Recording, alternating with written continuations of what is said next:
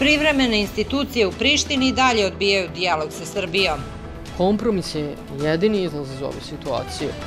Dijalog je jedini izlaz, ali sa kim? Sa...